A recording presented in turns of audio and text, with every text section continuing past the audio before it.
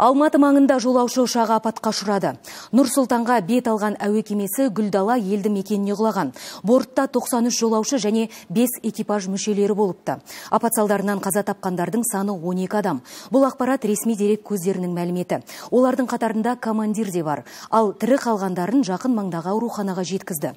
Құтқару жұмыстары бірнеше сағатқа созылған. Оқиғаның басы қасында болып, куәгерлермен тілдесіп келген әріптесім Өмір Әнуарбек жалғастырады.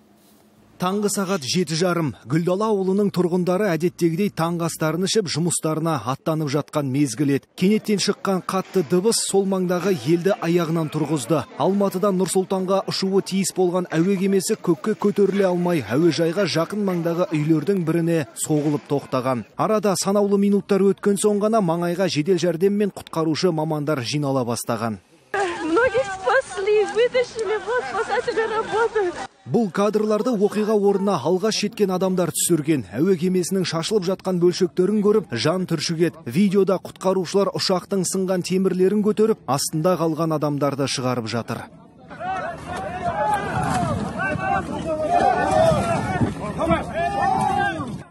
Құзырлы орган қызметкерлеріне қарапайым халықтарды апатқа ұшыраған адамдарды алып шығуға көмектесіп жатыр. Шұғыл жеткен жедел жәрдем көліктерімен зардап шеккендерді дереу жақын маңдағы ауруханаларға алып кетті. Ал апаттан ресми мәлімет бойынша 12 адам опат болды. Оның біреуі ұшақ командирі.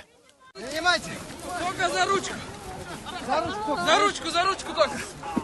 Апат болған маңайдағы елдің сөзінше барлығы қасқағым сәтте орын алған. Тіпті жарылыстың дыбысы да естілмеген. Ал ұшақтың қоршауға келіп қалай соғылғанын кейбірі үйлерінің терезесінен көріп қалған.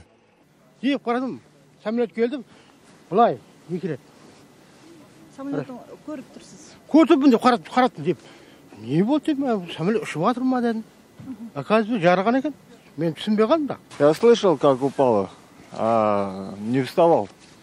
Я дома с дочерью спал. Вы не поняли, да, что это самолет? Да, я и даже не понял. Потом в 10 часов вышел, когда смотрю, тут народу много-много. Я слышала протяжный гул какой-то такой. Ну, он не просто один хлопок и все, а такой э, продолжительный немножко. Такой грох был, он говорит, ну подвал, он печка топил. Он говорит, такой грох был. Ну, не знаю, говорит, что случилось. Потом только брат зашел, говорит, что-то случилось, там самолет упал. Ужасно это вообще. Вообще ужасно. Ал апат болған жерге құзырлар тілшілерді жақындатқан жоқ. Бірнеше камазбен келген ұлттық ұлан сарбаздары маңайды айнала қоршап алды. Журналистер тікелей хабарды 300 метр қашықтықта тұрып таратты. Көргеніміз әуе кемесінің алдыңғы және артқы бөлігі жұлынып қалған. Бекер әуе компаниясына тиесілі Фокер 100 ұшағы Гүлдала елді мекенінің іргесіне құлаған бетон қабырғаны бұзып барып екі қабатты үйге соқтығысқан. Соққының қатты болғаны соншалық үйдің екінші қабаты опырылып түскен. Абырой болғанда бұл үйде ешкім тұрмайтын болып шықты. Сонымен қатар апат кезінде ұшақ жарылмаған от тұтанбаған. Соның арқасында біраз адам тірі қалған болу керек. Құтқару жұмыстары бірнеше сағатқа созылды. Оқиға орнына алматы қаласы мен облыстың барлық жедел қызмет мамандары келген. Атап айтсақ 800-ге тарта құтқарушылар 120-ға жуық техника мен 51 жедел жәрдем бригадасы жұмыс істеді. Төтеншеліктердің жұмысы бір минутқа да тоқтамады. Ал қалың елдің қабырғасын қайыстырған апатта қаза болғандардың отбасына мұқым ел көңіл айтып жатыр. Өмір әнуарбек мейрам исабеков алматы телеарнасы.